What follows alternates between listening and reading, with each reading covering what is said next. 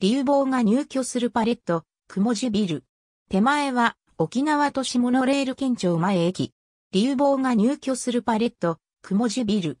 県庁北口交差点、国際通りの南端に面する。株式会社流房インダストリーは、沖縄県那覇市雲地にある日本の百貨店のデパート流房を運営する企業。流房グループ10社のうちの1社である。デパート流房は、米軍政下の1954年、流房インダストリーの親会社である株式会社流房によって、那覇市松尾の流房ビルで開店した。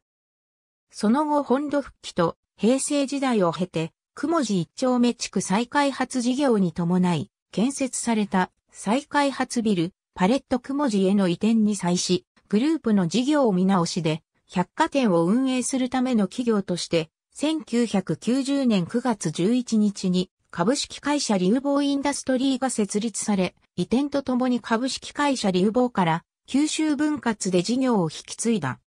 そのため、現在の株式会社流房は不動産管理が中心となり、一般に流房と言われた場合は、株式会社流房のことではなく流房インダストリーのことを指す場合が多い。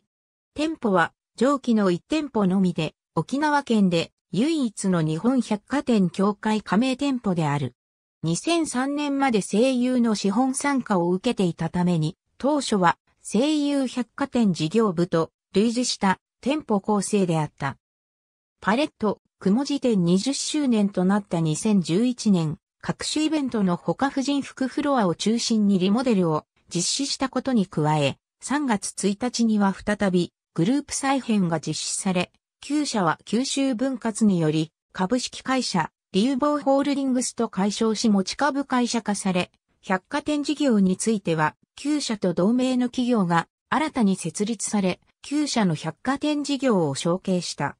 2013年8月には入居しているパレット雲地ビルの那覇市株を取得し、筆頭株主となる。